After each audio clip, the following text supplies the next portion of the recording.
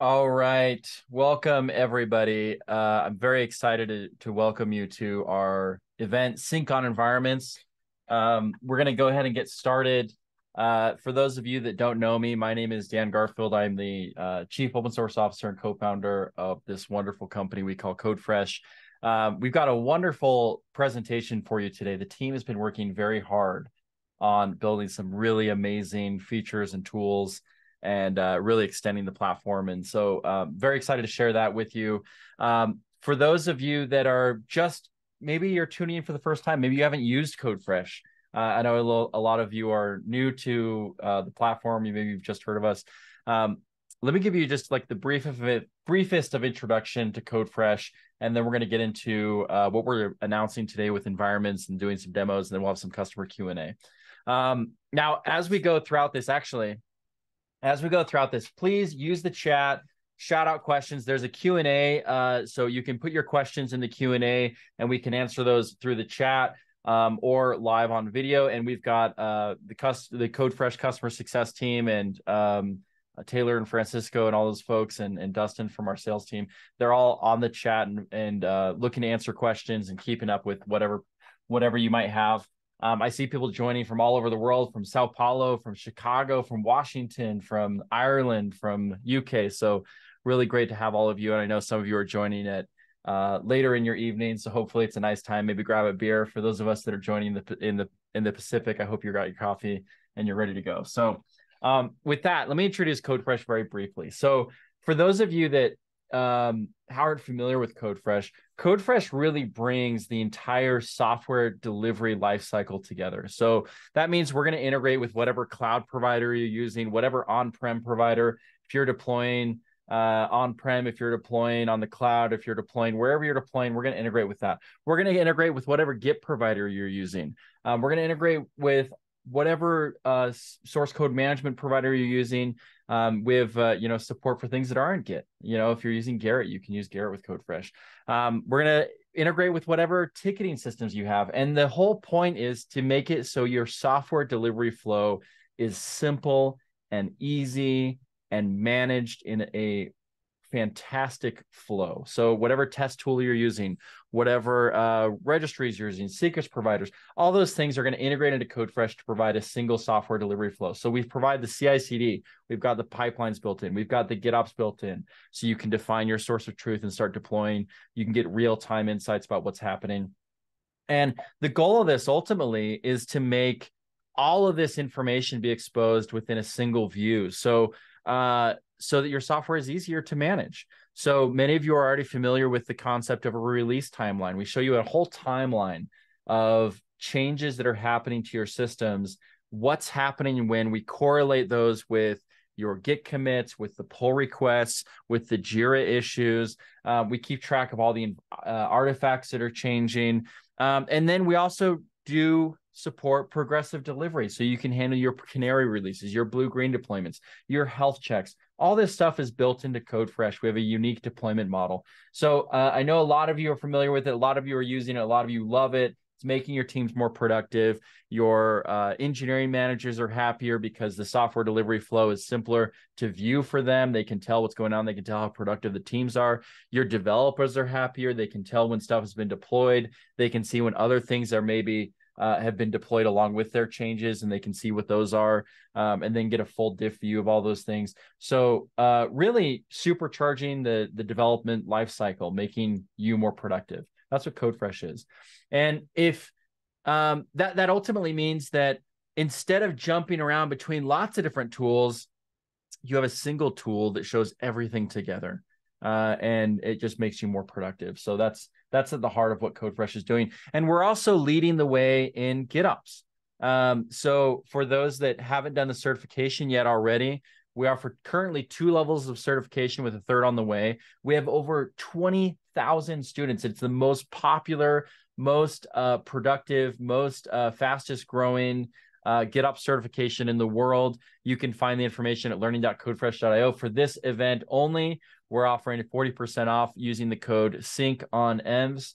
um, there, and uh, that does expire and it will run out. So uh, if it doesn't work for you, you may have just been too slow if you haven't already done the certification. And I see some people posting saying, "Hey, I'm I'm already waiting for the third certification. We're excited for that." But all of that is just a preamble because today we're going to be showing off how you can deploy easy using some really cool new features from CodeFresh, the ability to manage environments. So uh, here I want to introduce um, our two presenters, uh, Edan, who is our senior product manager and head of UX. He's been with us um, really pretty much since the beginning of CodeFresh, and especially in the last year or two, has really taken on a lot of product and helping build all of the GitOps tooling that you love. And of course, Kostis, for those of you who don't know Kostis, uh, he built our GitOps certification. And um, many of you have relied on his articles and his um, guidance uh, to help you be productive with your GitOps tooling using Argo, using CI/CD, whatever it may be. So let me um, let me introduce these two speakers, and I'll pass it off to you, Kostis, to introduce what we're going to be showing off today. Uh, thank you, Dan. So I have to say I'm really excited about this. It's a feature we have been working for over, I think, uh, a year now.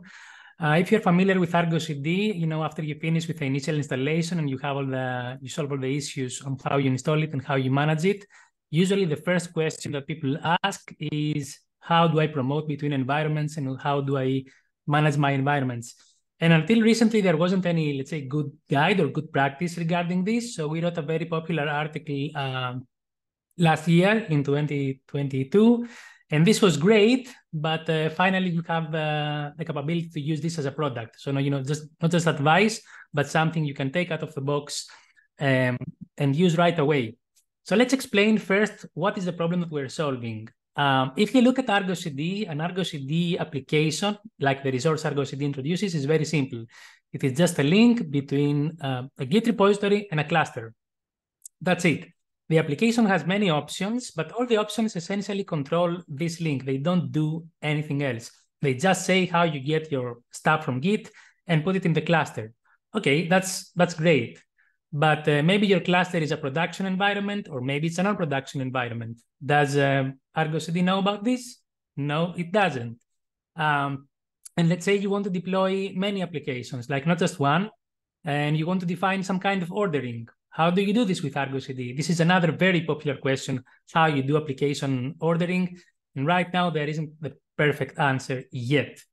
Um, for those of you that are working with microservices, maybe you don't want to deploy um, one application, you want to deploy uh, many microservices, and you want to see the connection between them, like either treat them as a single unit or as a single entity. H how you can do this with uh, Argo CD? There are some solutions like um, application sets, but these are mostly um, handling the build time, like the, the pre-deployment um, workflow. They don't necessarily translate into uh, runtime information.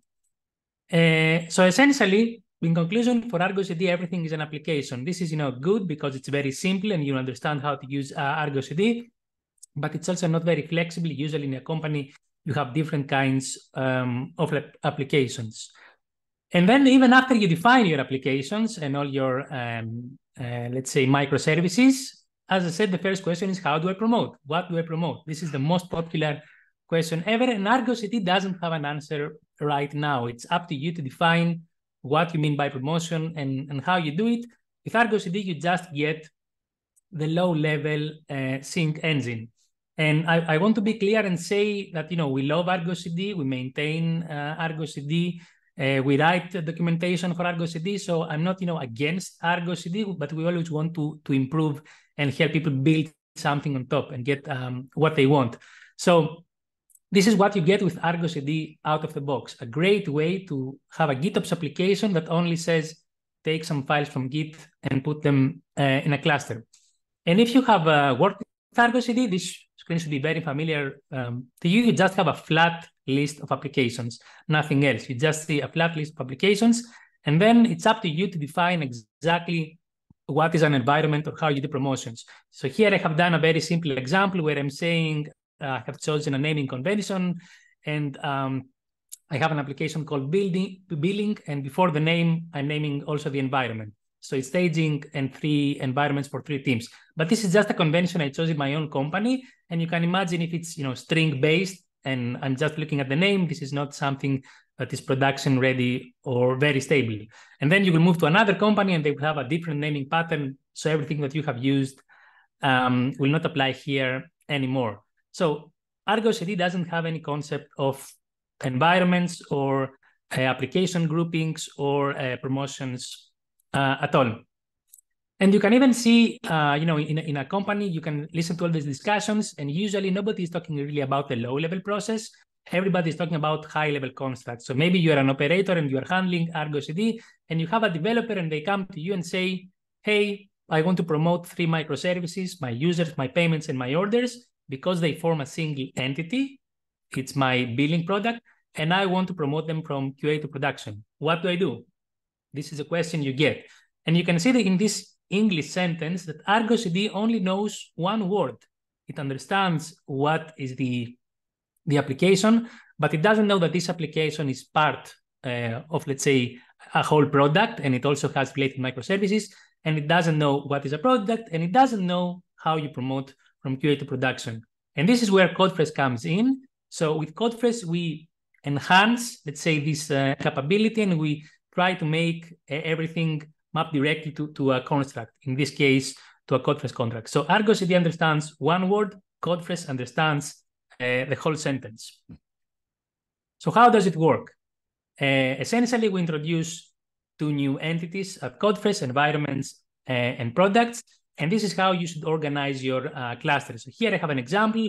You have, as I said, um, a flat list of applications. Maybe it's a single uh, Argo CD instance. Maybe it's many Argo CD instances it doesn't really matter. Right, now, it's just a flat list. You can see there is this naming convention uh, I talked about, but this is just for names. So the first thing you should do is say, okay, and I will show you the way. Uh, these are not, you know, just applications on uh, random clusters. These clusters represent environments, and not only they represent environments, but they have four environments: development, testing, pre-prod, and prod. So that's step number one. The second step is that you say, okay, I don't have just four environments. But these environments have an order. So I'm not, you know, deploying straight to production. Ideally, I should deploy first to dev, and then I promote my application and it goes to test, and then I promote my application it goes to prod, and finally to prod. So not only I have defined four environments, I've also defined an order in these four environments. And finally, there is a second dimension, the product that we talked about, which uh, unifies um, the individual applications. So here, monitor dev, monitor test, and monitor prod is not just some random four applications. I want to know that the it is the exact same application, but it's just promoted from environment to, to environment. So if you ask Argo CD, it will tell you it's just four applications. But if you ask CodeFresh, CodeFresh will say, no, it's a single application. It's, you have just deployed it in your four uh, environments. So that's like the theory of how you should organize uh, your applications and add extra intelligence um, in this huge list that Argo CD offers um, out of the box. Okay, so that's uh, enough theory. How does it work? This is what everybody expects. So this is it, ladies and gentlemen. For the first time ever, you see our brand new uh, environments dashboard, which brings into a single screen everything that we have uh, talked together. Maybe you have seen some similar dashboards in other products, but this is the first ever dashboard specifically for GitOps applications. So it's not, you know, for that's any applications, but for GitOps applications, everything you see is powered by Argo CD. Argo CD is behind the scenes. And uh, this is the, the new uh, UI. And you can see like what you would expect as a developer. I have three environments um, and they go from left to right. So there is a very clear order again for environments. And you can see some applications there and also what is their uh, version. And also you have some applications that are not assigned yet to, to a specific um, product. Uh, so this is uh, what we're going to do. And to make this work, we introduce some concepts. So we say, okay, CodeFresh introduces a new concept for environment. What is an environment? If you ask 100 people, you will get 100 different answers. So here we have an opinionated way and say an environment in our case is either a cluster on its own or some namespaces on the cluster or multiple clusters or multiple namespaces. That's uh, the definition, and you can see that it's flexible enough to cover every use case um, for every customer. Uh, an environment can exist on its own. So maybe you know you have defined an environment, say it's a cluster and nothing is deployed there yet. That's perfectly fine for CodeFresh. Unlike you know some other products that they say no, you always need to deploy an environment. And then after we define the environment, we define a product, which is another new construct that uh, CodeFresh introduces, which is um, a way to unify some Argo CD applications. Maybe it's one, maybe it's two, maybe three. It's some applications you, you think are uh, interrelated. Maybe you want to deploy them, together. Maybe you don't want to de deploy them together, but usually you want to promote them together or at least know that they are related during the promotion phase. So we have these two basic constructs, an environment and a product. And then we also define the connection between them and say this product is deployed to that environment or to another environment. And we do this with CodeFresh in a very flexible way. And then CodeFresh does all the hard work of showing this nice dashboard and making easy to understand like what is deployed where and how the applications are um, interconnected. And I know that just you know by this description, you will have a thousand questions and we'll try to, to answer them uh, in the chat. Uh, if you have read the previous you know, article about how to promote, you will see some similarities there. And as I said, you know, essentially we created um, something that was just a best practice. Now it's a product that you can try and use uh, on your own. So initially this presentation was only to going to be slides, but we said, no, since we have live people here, let's show them something. So ahead of KubeCon, normally this would be just a demo that we would do at uh, KubeCon. You will see some uh, live demo of what we have right now. So this is not a mockup anymore. This is actually CodeFresh, like uh, our demo uh, instance. I'm at the environment screen. And as I said, we will uh, see what you should do uh, as you want to, to create environments and applications. So here I have some predefined environments that you can uh, see, and we will see one as a demo. But if you want to create a brand new one, you say create an environment, and here you can just put uh, a name, and then you can also put uh, a kind. Now, for now, we only have uh, two kinds, non-production and production, and you can imagine why this is useful because later you can say, for example, ah, this is a production environment. Whenever a promotion happens, I always want to create a pull request. Nothing should go in production as it is. Uh, but for a non-production environment, maybe I don't care. I don't need a pull request. So I will always um, commit something straight to, to the branch. So this is just a starting point. You know, maybe we you want other environments or other types of environments. So we can do it. And the same thing can be said for uh, tags, how you sort how you sort them and how you use them. So this is the important part where we define what is an environment. And you can see uh, it follows the description uh, I told you. So here I've already connected some clusters into CodeFresh and I can select any one of those clusters. So maybe I want to create a production environment and I choose my production instance. And then here for namespaces, either I can put some uh, default namespace or I can put uh, a specific namespace or a multiple namespace or even uh, use the star and add all namespaces if this is what, what I want. And then after I finish, maybe I want to add another cluster. So here you have a choice. Let's say you have three clusters, uh, one in Europe, one in Asia, and uh, two in the US.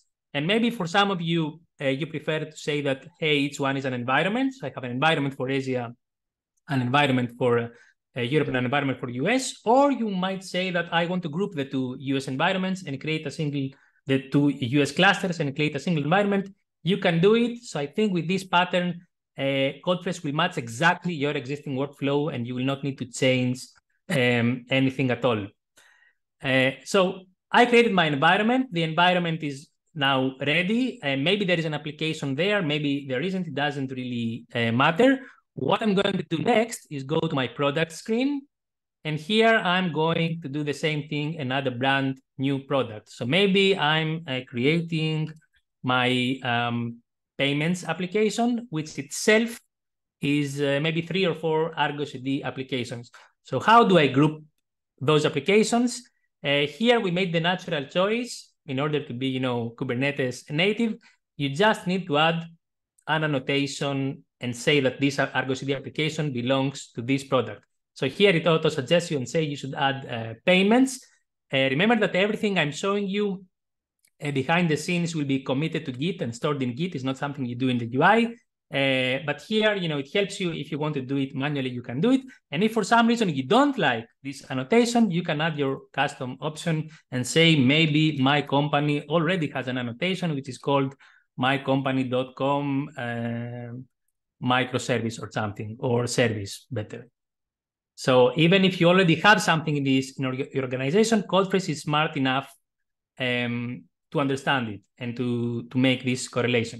So now we have the most uh, important building blocks. We have applications and we have environments, and then CodeFresh will do its uh, uh, magic and assign everything according to the um, um, to their location. So here I've selected uh, one application that is already there.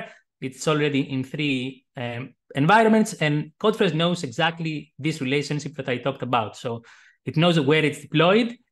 And here I think we reach the most important point if you are in the killer feature of CodeFresh. Normally, you don't just want to see some environments. That's okay, but this is not very useful. Normally, you want to answer questions about environments. So here I have the classic view where I can see um, which images uh, are there and which version is there. But if you look at the top right, you can see I can change the view and also show uh, Git information. And remember, this is feature Git information. So instantly, I can answer some very common questions about environments, which are who was the last person that touched this environment? What was the last change that uh, affected this environment? Or what a, let's say, project manager would ask regarding features.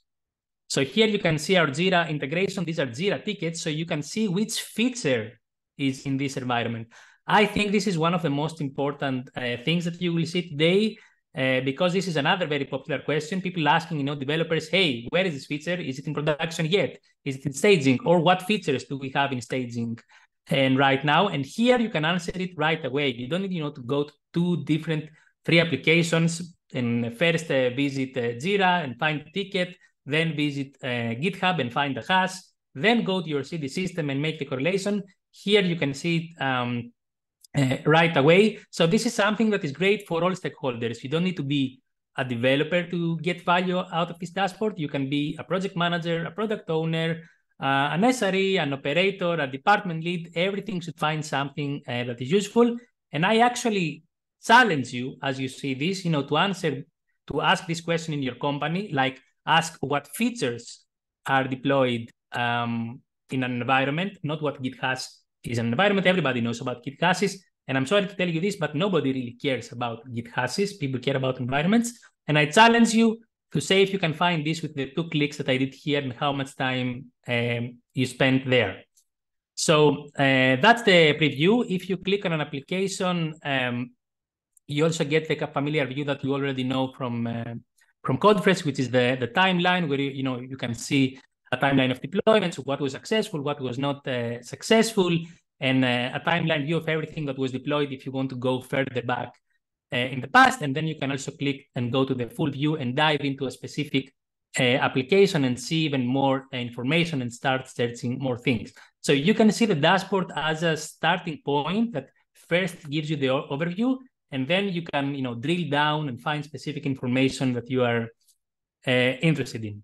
So that was the sneak peek. If you want to know more, you should either join us at the KubeCon or wait until KubeCon, where we will um, show even more. But I think it was important to show you something uh, today since you are here instead of showing um, boring slides. So what have we uh, seen? What is the end result? The end result is that even though you know Argo CD is a great tool, it's really a low level sync engine. It's great if you want to know the mechanics like what is synced uh, where, but it doesn't have any information about high level overview like environment information or uh, which application is deployed in this environment. With CodeFresh, you get this information. You get uh, an overview of your environments, not just the applications. You can understand how an application moves across environments so this is a great way to help uh, developers because one of the most common questions of developers is, where is my release? Is my production uh, pipeline ready? what has happened? So now you can help developers understand exactly how a commit starts, you know, from Git and how it reaches its environment uh, in turn. As an operator, you also get a great overview for environments in general. So you can see, oh, maybe I have, a no, 10 applications in staging and two applications in pre-prod. Maybe I need to adjust my resources in order to accommodate this. And the most interesting scenario for me, as I said, is that you also include other people, other non, let's say, developers and non-operators. So you can show the screen to your project manager, and instead of having them asking you every day, hey, where is this feature? Where is this feature? Now you can say this feature is in staging, and no, now today this feature um, is um, in production. And uh, you know, I've shown you the fancy UI today, but if you're familiar with CodeFresh, you know that we follow GitOps uh, with, with, our hearts. So everything that you've seen is actually, you know, stored in Git. It's saved in Git, in Seek in Git. Essentially, every action that you take in CodeFresh, if you have seen how our uh, runtime works, uh, you click some buttons and then it says, hey, you need to commit your actions, and you actually press a button uh, to commit. So don't you know think that this was just a fancy UI where things are stored somewhere. Uh, it's fully uh, GitOps. And with that, uh, I will pass this to uh, my colleague Edan, and he will talk about some more features that we haven't seen. So actually, let's let's do a quick uh, wait. Back up one one slide. Let's do a quick check in because we've had a lot of questions. People are pretty engaged. So let's do a quick check in on some of these questions, and then um, I know we're going to answer some of them with some of the things that you're going to be showing as well, Dan. But one of the questions was is there a GitOps declarative way of defining environments and products? What we showed was obviously the UI way, and Edan, I think there is through Terraform and, and some other ways, right? Exactly. So uh, since environments are essentially cross-cluster, cross-Argo CD uh, entities, we thought it would be better to keep them as a, a CodeFresh entity and not on the cluster. But still, everything is available to in a declarative way to via our Terraform provider. Products are actually uh, very easy, so we can generate them uh, via Terraform as well and via UI, but they are able to to create them actually by just adding a simple annotation as Kostis showed on the application, and CodeFresh will identify that application, that annotation, and create a product for them. So everything, uh, it, it, we're really looking to make it easier for all users in different levels, and just to make sure the process is fast and engaging. Yeah, perfect. Okay, so um, another thing that uh, Luke Phillips was asking was, is everything that you were demoing, demoing, is all of that persisted in Git? And I know we're going to show that spec in a bit, but the answer is essentially yes. And Dan also sort of just answered that with some of the definitions of environments and products. And um, I think actually, Dan, in a few minutes, you're going to show us some of the commit uh, flows as well. So yeah, um, we'll we'll maybe hang on to that one. Um, Danny asks or says the killer feature for us is the awareness of failure and the ability to roll back to last known good. Is this kind of use case handled? So, so as you can see here, each application actually shows you the health status of the application. And uh, I'll show in a bit, but as you can actually um, promote from one version to another, you can do the same operation in reverse and roll back if there's any issue. And you can identify the, the uh, previous version that was in a different environment and roll back to that, or just do a git revert and simply roll back to the previous one. So since everything is in GitOps, rollbacks are super easy. Yeah, perfect. Okay. Um, Luke also put out this question microservices are loosely coupled services. This sort of appears to be a way to create a more tight coupling and creating potential unintentional complexities or slowdown in rapid CD. So he's worried that um, the relationship between these applications might create that dependence. And I, I don't think that's the case here. No, so essentially you can uh, consider each product a specific microservices microservice in different versions and different environments. So eh, right now it's actually uh, not connected enough and not coupled enough in for microservice architecture. We are building that additional level of aggregation of connectivity. But if you if you're familiar with CodeFresh, everything we do, and you'll see this later, uh, is with customization in mind and with different use cases in mind. So like Kostis uh, mentioned, if you ask something what so 100 people what environment, you'll get 100 answers. If you ask people how to uh, associate multiple microservices together, you'll also get 100 answers. So we are trying to um, not be very uh, strict with this. We are opinionated and we have some best practices built into the platform, but everything should be customizable for your use case. Yeah, perfect. Okay, so um, uh, we have a number of other questions, but I think you're actually going to answer a lot of them with with what you're about to present. So let's uh let's let you go forward. Keep the questions coming, and we're gonna we're gonna circle back to them. So go ahead, Edan. Amazing. Uh, so thank you, Kostis. Kostis, can you? Yeah, you want to share your own screen? Yes, please.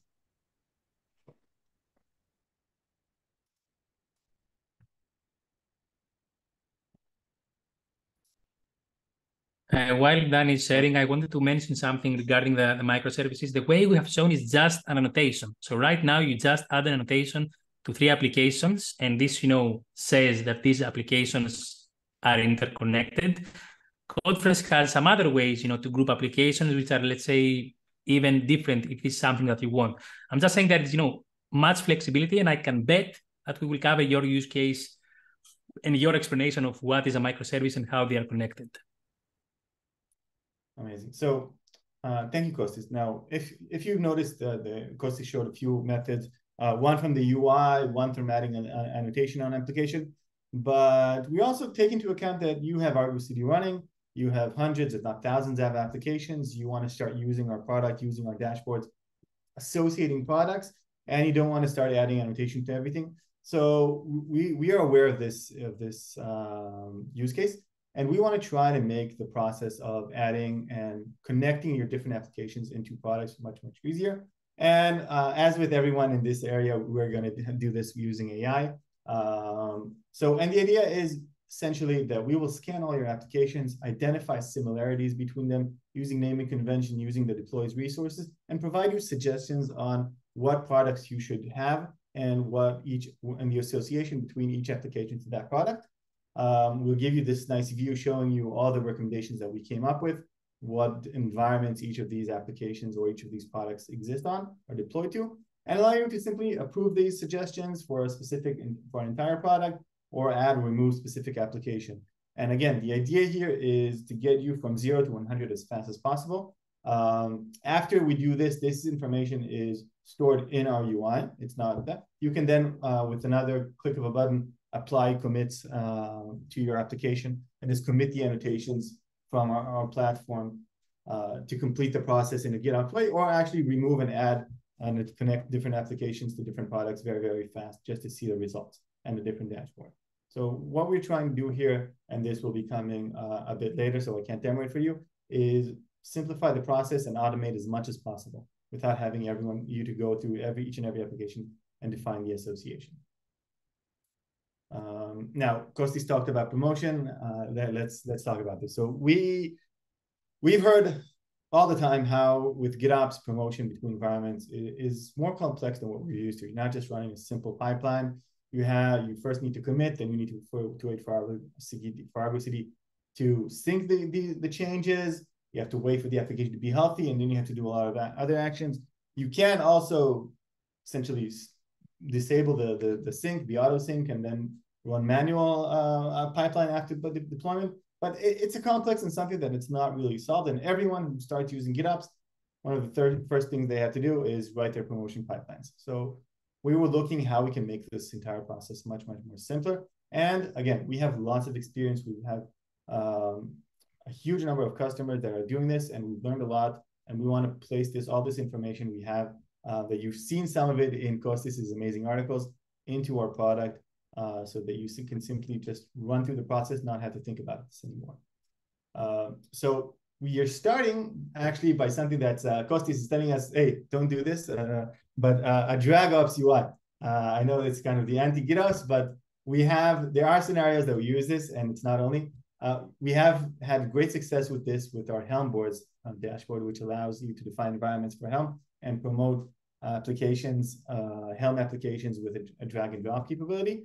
So we have will support this, but we'll also support uh, trigger-based and webhook-based promotions and API-based promotions.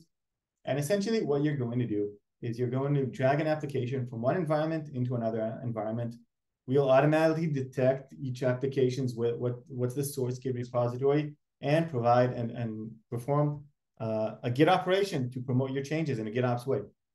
So if we're looking here at, at the flow that we the CodeFresh is going to be used for promotions, so we start by a drag and drop either or an API uh, trigger mechanism, and then the next stage, since we're GitOps, is actually performing a git commit or a pull request, like Kostis mentioned, to your uh, target application's GitHub repository. Um, this is especially useful if you want to integrate with, with any approval flows that you already have uh, in, in, in, GitHub or any other software, in another solution.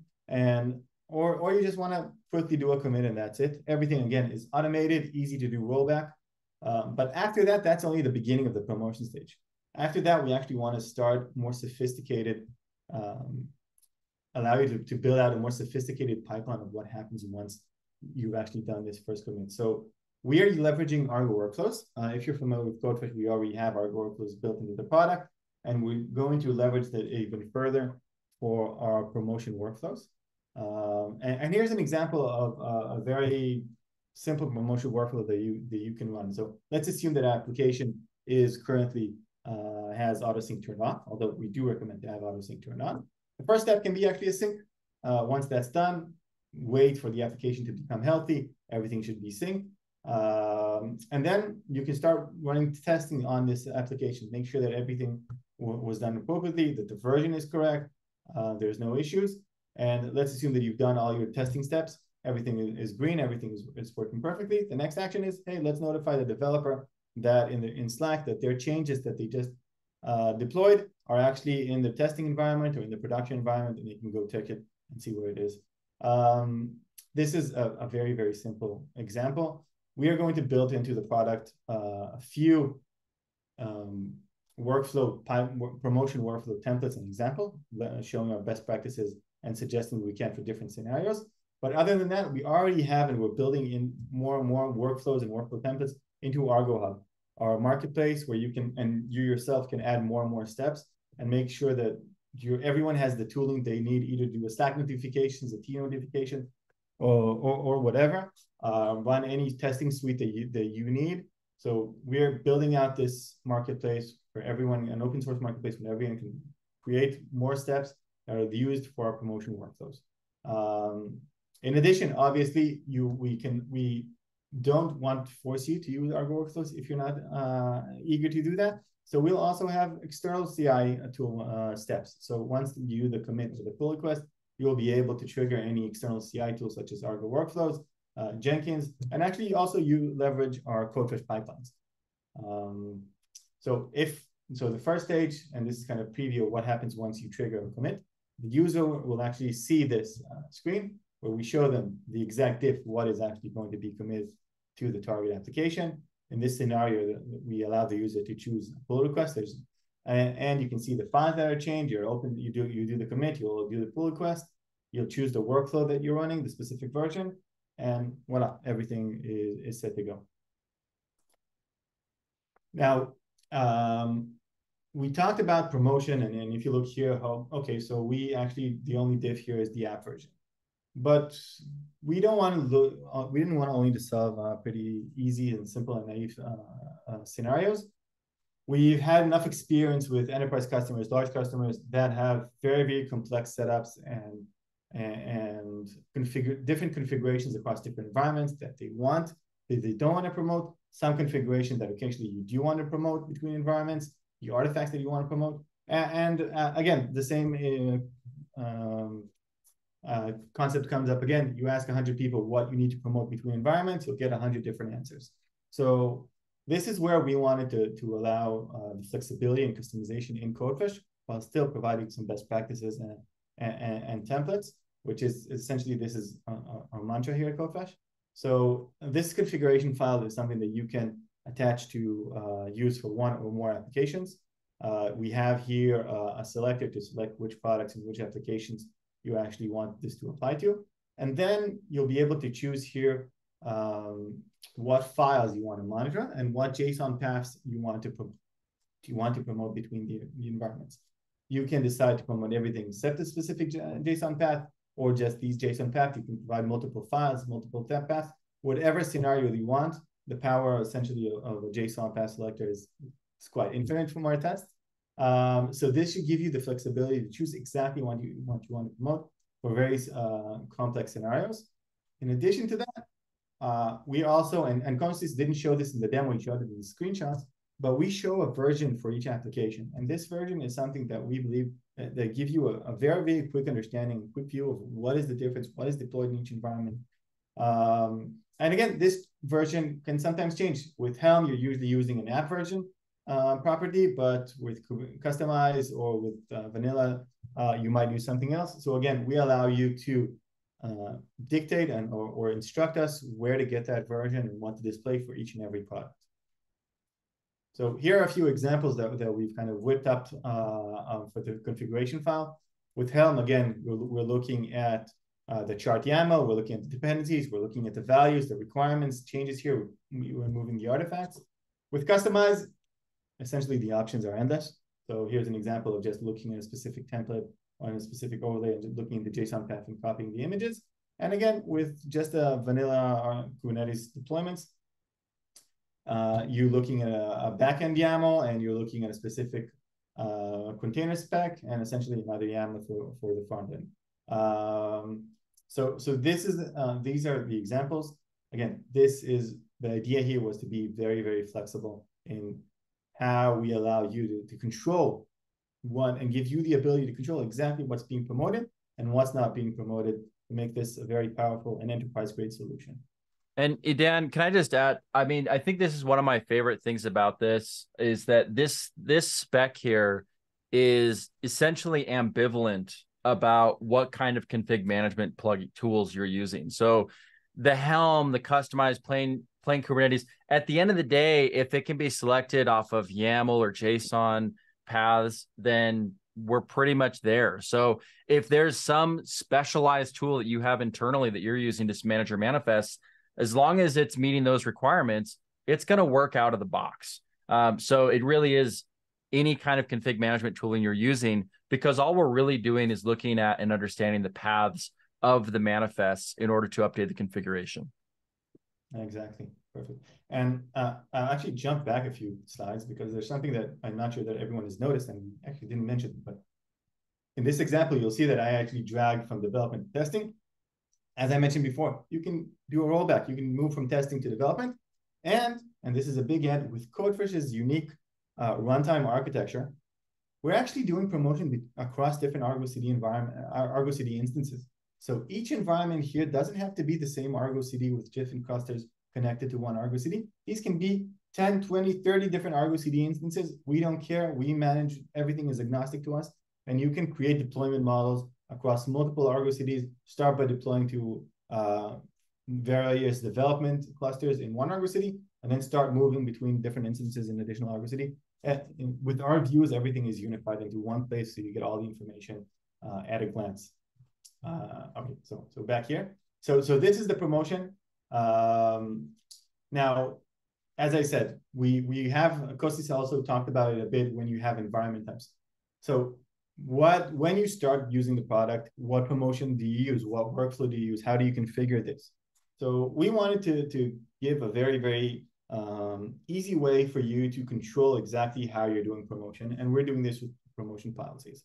And essentially what that means is that you can define a policy that suits you uh, based on different environments different based on different products and uh, uh, different attributes of these entities. So I, I, put together a few examples here that we can, that can really show the power. So if I want to say, hey, I have a, a, bunch of environments, some of them are, are defined as non-production, some of them are production. Anytime you promote into a, a production level environment, do a pull request. You can't do a commit. This is dictated by the policy. The user will not be able to, to just commit the changes there. This has to go through approval. And after that, we have a set of testing uh, workflows that need to be run to make sure that this uh, everything is passed and this is production ready. So you can define that that policy. And you can, can provide another policy. Okay, but for an environment that's called sandbox, we can actually do a commit and we can skip some of the tests. Um, this is for another scenario. And again, you can choose for a product. So I have a product UI. The action, I'll, I'll, I'll, use the default action based on what other, other policies exist, but I will run the full E2E suite of checks. Um, so this uh, essentially is here to give you the power to, again, with Argo CD, we're talking about um, scale of application becomes really, really large, thousand applications. We don't want to have to force you to define a specific promotion rule between each and every application, each and every environment. That's just not scalable. So with these policies, you can actually build out a set of rules that control exactly what you do across different teams, different environments, different products. Um, again, obviously we can, this starts from the top level, but you can actually create a very, very specific rule. This product, this environment, what's the workflow and what the action can do. So again, uh, opinionated, flexible, and customizable. That, that's uh, what we do when we build these features. Something else that I love about this approach is it's very scalable, right? So if I have hundreds of production environments, I can essentially create one policy for all of them, or I can create, you know, bespoke specialized policies. Um, and uh, I believe I can I, uh, Dan, here's a question actually from from some of the chat. Um, can I stack policies? Like, so I, can I have something that's all for production and then something that's specific to one environment, and both policies would be applied? Exactly. So, so we essentially a policy can um, either apply both an action and a workflow, or either of them, and they're ordered in a, uh, essentially so that you can actually stack and order them. So you can have a general rule and then more specific rules based on the based on the order that you apply the rules. And again, this is we're still building this. We're going to add features one item that has has come up and, and we're thinking about is defining soak tests. How many how much long does something have to be in environments? Or if you have uh, Black Friday and says, hey, we have an event, sync on environments. We did a code freeze today, so the production is still up and running. No one, no one uh, um, promotes the production today. That's something that you can easily apply with these promotion rules. Well, and, and someone was just saying uh, in the Q and A, like, oh, well, can I have like a manual approval you know, that needs to go forth for environment. So I could actually say for all my production environments, this production workflow needs to run. And that workflow includes specific approvals that would need to be met in order for it to continue. So I can mix and match this stuff to get kind of anywhere I want to go. Yeah. And we did mention that the actions start with a pull request and commit, but we actually do plan to add hooks that you can actually trigger before those actions themselves. And if you want to com- connect it to any other tooling like ServiceNow and such before you actually trigger the promotion, that's also possible. Um, it should be, and we are building something very, very flexible and powerful here. Um, so let's continue on.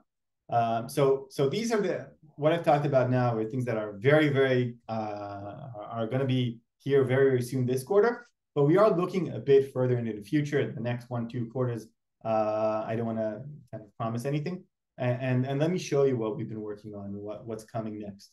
So um, we talked about a lot about, hey, what's deployed to each environment? And we want to make that very, very clear to you because that's essentially when there's a problem, something is was working on pre-prod, but it's not working in production, you're going to ask yourself why. And the first question you're going to ask, what's the difference? What changed? Why is it working here and not there? And you want to understand what's the differences between these two environments.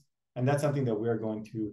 Uh, we've started also with the first version that is already uh, as part of the product is actually showing you the difference of each dependency, each uh, service application, what are the different versions and what the what, what's in each environment, and you can add multiple environments and compare them. Uh, but we're also going to add you uh, diff you for the YAMLs and the values files, and even the resources themselves, so you can identify, hey, production has doesn't have enough memory and CPU uh, for for this new version, then you can expand it and scale that up. So understanding exactly what's in each environment and what's the difference between the environments is key to us, and that's something that we're working on adding to the product. Um, and we, we talked a lot about, and Kostis showed you, looking at, at applications from um, the environment standpoint. So looking at all your environments and seeing what application is deployed there. Or you can go into a specific product, understand what's the differences between this specific product. But you also want to go and see, hey, this this image, we have our, our CF API and actually what version of this image is deployed across each and every environment.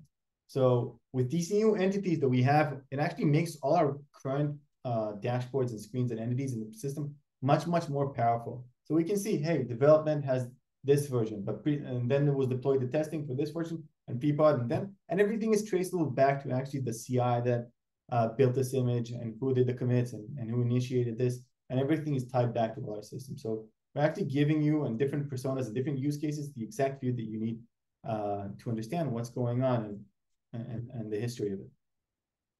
Um, finally, and, and, this was mentioned uh, um, when we're talking about microservices and, and, more sophisticated, essentially, uh, promotion models is how do we build out an orchestration across multiple environments? So we, so we talked about deploying from one environment to another, and you can actually daisy chain the promotion pipelines and build something, but we want to also provide something more manageable and scalable to, to manage promotion between multiple environments and and visualize the, the flow that you're using for each and every product and deploy to multiple uh, regions at the same time. So this is something that we are working on. Uh, it's in the very early stages, but something we have in mind and will be part of the product pretty soon.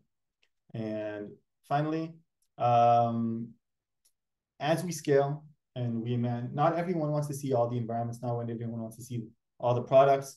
Um, larger teams have different uh, separation of concerns. Um, and with that, we're also going to add the ability to save and share filters uh, for, for both their dashboards. So you can actually control what each team is looking is seeing, not only based on our permission model that uh, and, and RBAC rules that allow you to to see what and to limit the operation of each team member, but also for now you just want to focus on this environment. So you'll create a view that focuses on a set of environments and another view for another team member or for yourself that's focusing on a different set of environments for specific use cases. So again, this is coming in the future, not part of the product as of right now. Um, that's it for now. Um, Dan, should we kind of stop for questions or, or let's show this uh, small video? Yeah, let's let's pause there for just a moment and um, let's let's just go ahead and invite you all to uh, take a moment and um, add additional questions. Um, and uh, we're going to show you yeah i think while while while you're writing your questions down um, i'm going to show you just a brief video of um so let me ah, whoa sorry. Mm-hmm. so let me let me share there we go there you go Dan. share yeah sorry and make sure my sound is on. Okay, here we go. Argo CD is a powerful foundation for software delivery with GitOps, keeping software changes in sync. But how do those changes fit into the application lifecycle across environments? Teams become overwhelmed trying to follow the flow of many applications along with their tickets and pull requests. CodeFresh solves this by using AI to intelligently create product entities that track and scale across Argo CD applications and environments. Our environments dashboard tames the previously untraceable releases across numerous clusters and Argo CD instances. For each product, users can see the latest version in each environment and trace back to the commits and pipelines that deployed it. The product dashboard refines the focus to a single product, providing critical live insights along with Git and project management information. Now, promoting is as easy as dragging and dropping across to automatically commit changes. Deploy easy with CodeFresh.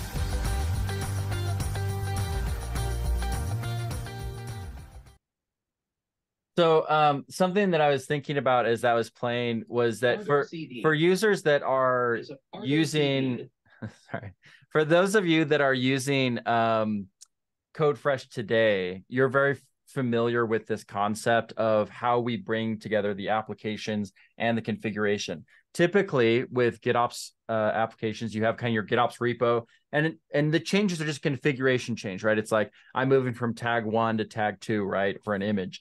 But CodeFresh also actually analyzes those images and gets their commit information, their PRs, their Jira tickets. So when you update um, you know, when you update your application, it's not just the configuration Git, it's also the application level Git that is usually kept separate that is also brought into that dashboard which is just something that's that's really cool and, and interesting. So um Kostis uh, let's bring you back on. Um obviously uh, a lot of you are going to be joining us at KubeCon next week and um you'll be able to come and, and play with some of this stuff in our booth um, if you're if you're a, uh, current customer, reach out to your customer uh, representative to ask for um, ask ask for access. If you're uh, new and you want to get early access, contact our sales team and and uh, schedule a demo, and they'll be happy to help you. But let's take a couple of these questions. Um, so uh, Ingie asked uh, very early on, "Hey, is this going to be open source? Is our environment's open source? Is this going to be contributed?" I see that question. Um, quite a few people asking that. So CodeFresh is open core, right? So we're we're built on Argo CD. Um, the features that we're showing you today are all going to be available in our enterprise platform in CodeFresh. Now uh, we do have a free tier available for people to use that. Um, and of course, we have enterprise plans as well. So this is definitely anybody can go and use this. um, uh, once it's been enabled on your account. Um, and if you want to join early access on some of this stuff, um, you can do that. Um, another question we have, Edan, is when is when are environments going to be available to customers? So we're going to launch uh, a beta probably in the next month or so, um, and and you can reach out to customer success uh, to join the beta, and um, shortly after, depending on how the beta goes, and uh, we'll release a GA. But we want to release a quality product, so we're gonna um, make sure that everything is working as expected. Yeah, and a lot of um, a lot of the customers who joined, you're aware that like we've been showing you different aspects of this for a while. Um, and obviously, uh, we're going to be demoing it. Uh, you know, Kostis gave a live demo of what's working today, um, and we're going to be demoing at KubeCon a few more things than that. Uh, and um, yeah, so so if you're interested in in getting early access to this stuff and starting to play with it, reach out. You know, get on that list, and and uh, we'll we'll get would be love to get your um, early opinion of it as we release it over the coming you know exactly. So I, I, want to reiterate that. So um, we want your feedback uh, and and that's very important to us because we want to make sure that this solves your solution. And if there's anything that you notice that we can improve about it so that that's important to us. Um, this is a uh, very very big item for us. So we're and as you can see we're excited about it. Um, so uh, one of the questions that we've seen um, a couple people ask as well is how does this play with application sets? Um, does it also play well with progressive delivery? And uh, I think Luke is also asking about a specific feature of application set progressive syncs, which allows you to to set up um, basically promotion plans across environments. Uh, so that's kind of three questions in one, but maybe we can start with application sets. Um, so application sets, if you want a group application and you're leveraging application sets, um, there's a variety of options. You can actually have a matrix where you have one application set or the same application set that deploys multiple microservices application and for, for different environments. So just add to your templates the, the annotation that you need, and we'll generate based on that different products. Everything is managed from Git, and that's actually the easiest way to, to, to approach this. Uh, just one place and, and you're all there. Yeah. I, then, I want to add something yeah, on this uh, because it's very popular. So application sets, if you remember, I talked uh, before, they started as a way to generate applications. So the original idea is uh, I, I have a thousand applications. I don't want to write the YAML for a thousand applications.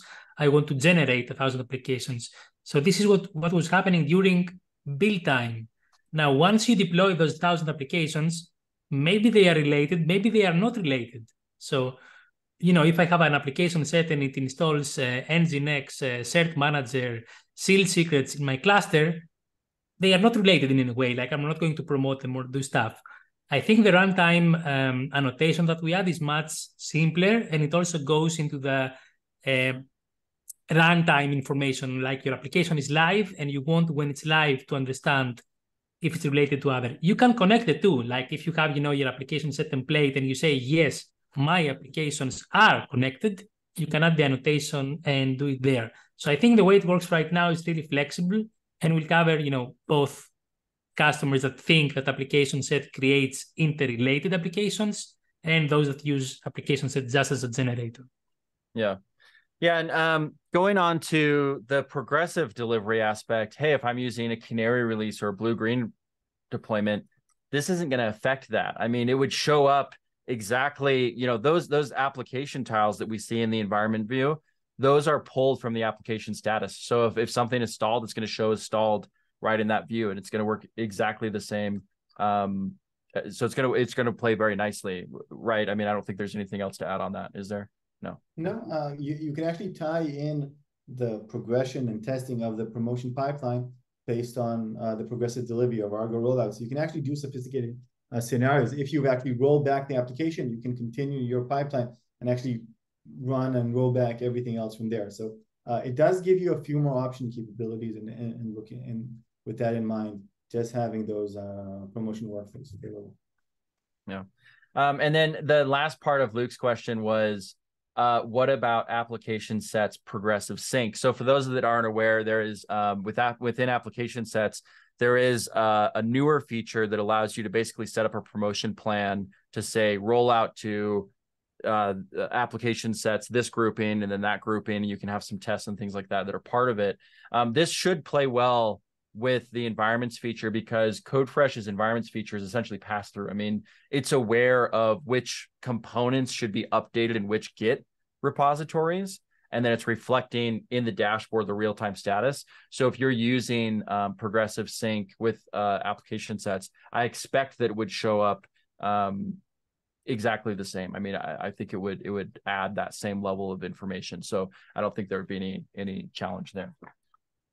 Um, let's see. Uh, we can do one or two more questions, and then we're going to move on to uh, the customer um, Q and A. Um, so uh, one of the can questions. Can I add something on the last question? Go ahead. Go ahead. Uh, so if I remember correctly, with progressive sync, uh, there isn't like any intermediate step. Like you deploy to one environment, and then three minutes late, three minutes later, it goes to the next. But maybe you're going to do some testing in between. So the solution that we've shown here with the promotion uh, pipeline allows you to define also some testing where you say, okay, I deploy to staging, now run some smoke tests in staging and then promote to production. And if I remember correctly, this is not supported natively by uh, Progressive Sync. No, it is not. That's correct. Uh, with Progressive Sync, it you you don't get that kind of um, health check uh, customization or manual approval or any of those kinds of things. So that would be all stuff that would be supported with this kind of flow. Um, I view them as as pretty complementary. Um, uh, it'll be interesting as we roll out the features specific to managing um, like regional changes and, and orchestrating changes across multiple environments at the same time to see how those play well together. Um, someone had asked, uh, what about skipping environment promotions? Uh, maybe I have a hot fix and I want to skip the normal flow to address a critical issue. Can I drag from dev to prod? Um, and I think maybe part of that question is, can I have a specific policy for that kind of hot fix? So um, right now you can actually do, you can drag from any environment to any environment. Um, we are working on, is them I mentioned earlier, the orchestration of deploying to multiple environments and the policies around that um, so that's coming now and in the future. But for now, yeah, uh, we don't have any limitations right now on, on the order of promotion. Cool. Perfect. All right. Uh, so with that, Kostis, Edan, thank you so much for the presentation.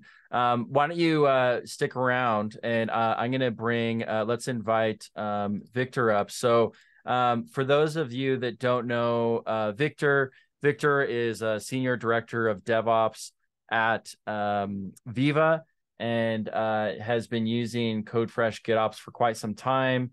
Uh, and uh, was also part of our uh, early group where we were uh, showing these environmental features to him uh, and getting his feedback. So, um, Victor, maybe you can start off by just sharing, maybe just briefly, what were you guys doing before you adopted CodeFresh GitOps, and then what was the adoption process like?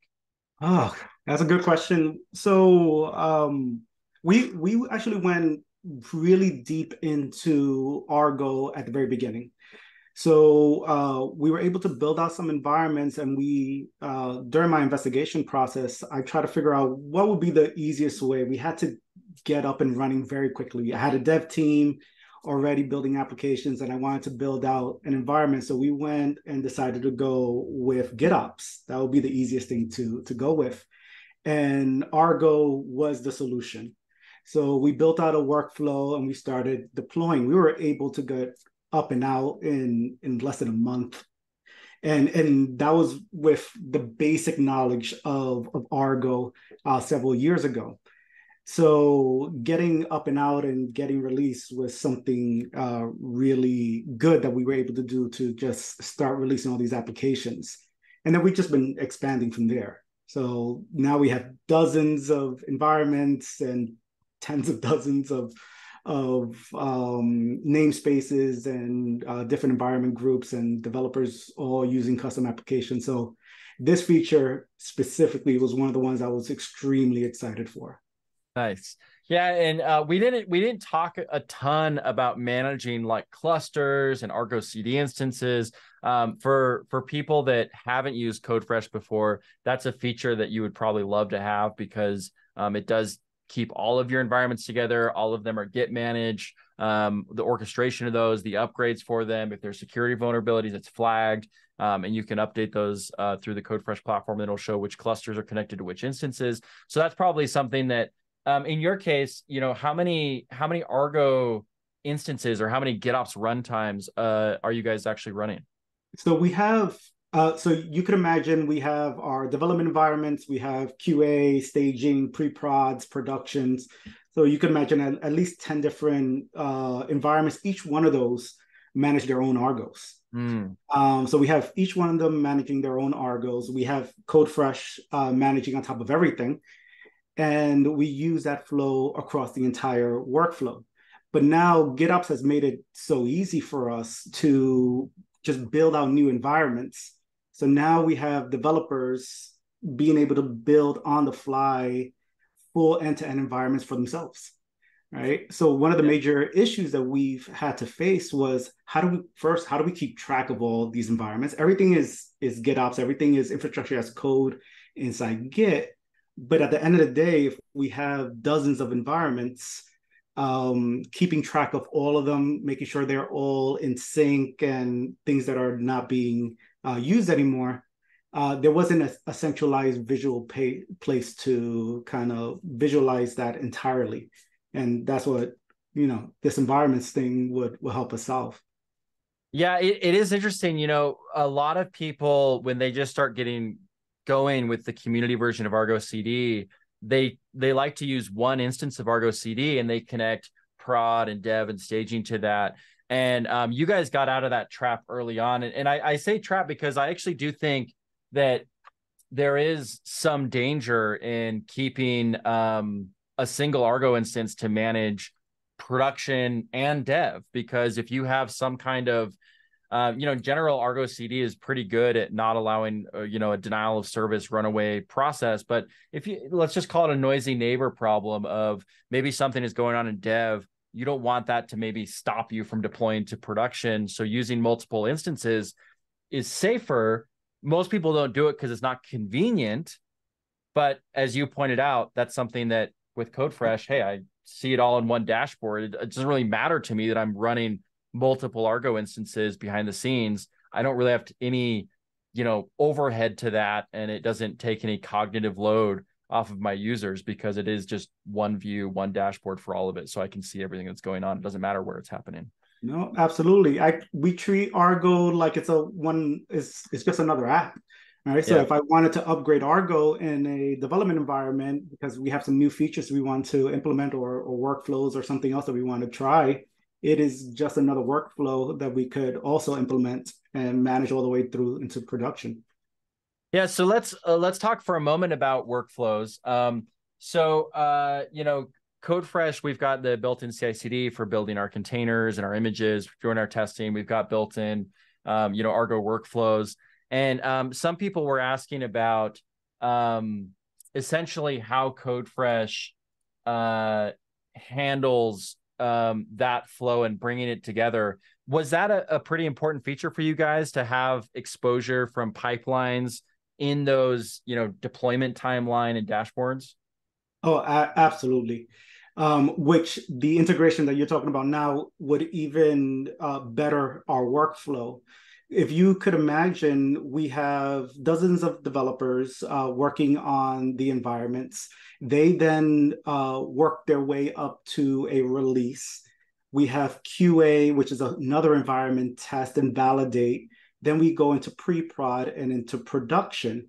And in the middle of those flows, we have uh, tests that we need to implement.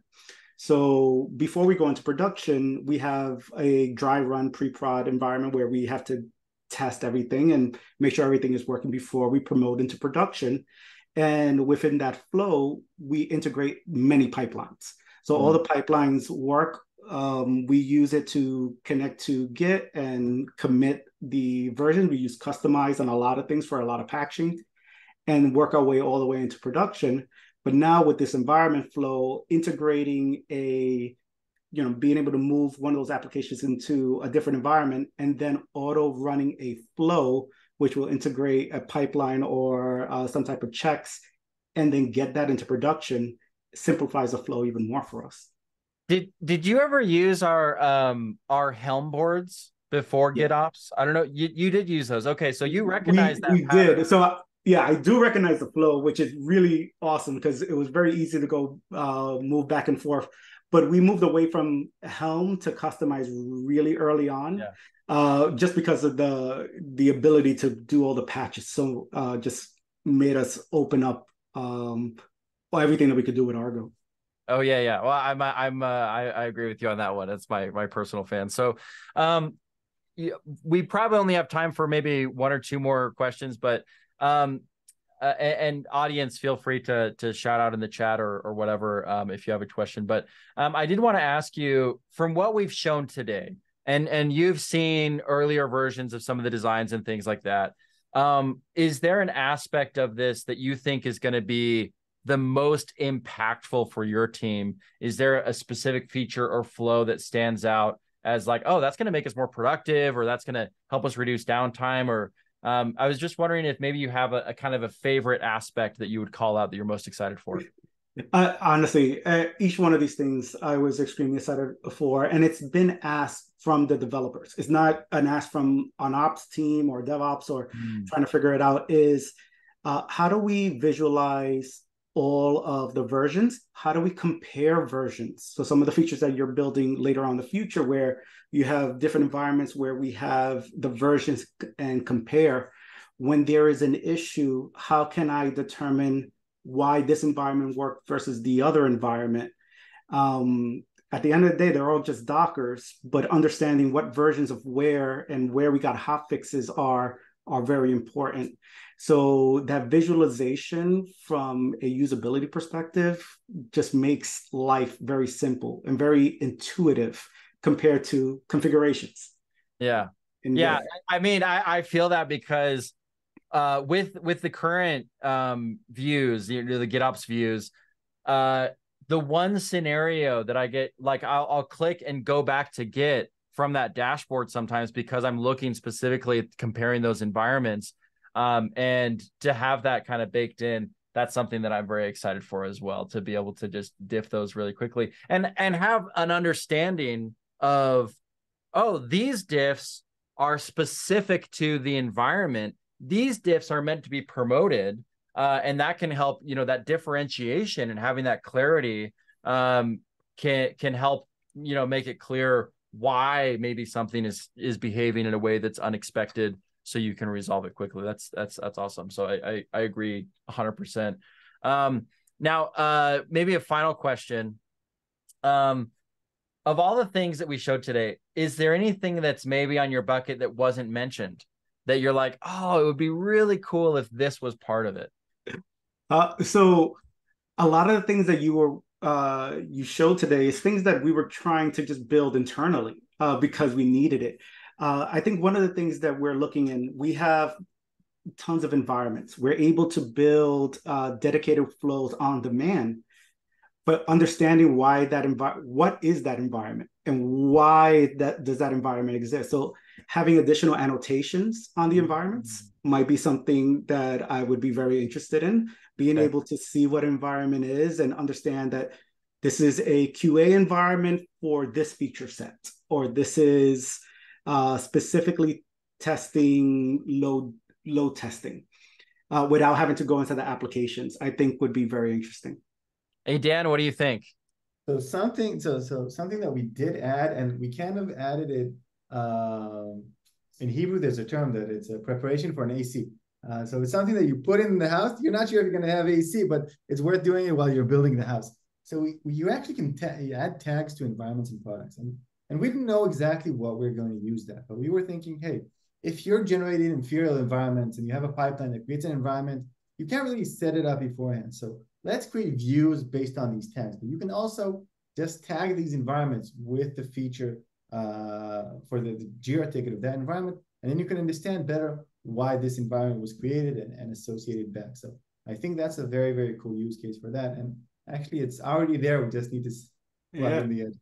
That sounds awesome. Uh, having all these additional tags, if once you go directly into GitOps and you want to GitOps everything, um, adding those annotations and being able to see those annotations visually somewhere else Uh, even if I was to link a a Grafana dashboard inside an annotation, yeah. be able to visualize that somewhere else.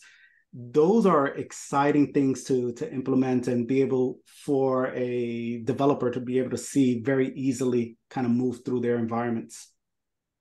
Yeah, great comment. Okay, perfect. Well, it sounds like we're we're at least uh, part of the way there. I think uh, uh, when this comes out, um, we'll have to see if we're able to get that full level that you're looking for. But with that, um, Victor, uh, really appreciate you coming on and sharing your experience from Veeva and how your team has been so successful with all, a lot of this tooling.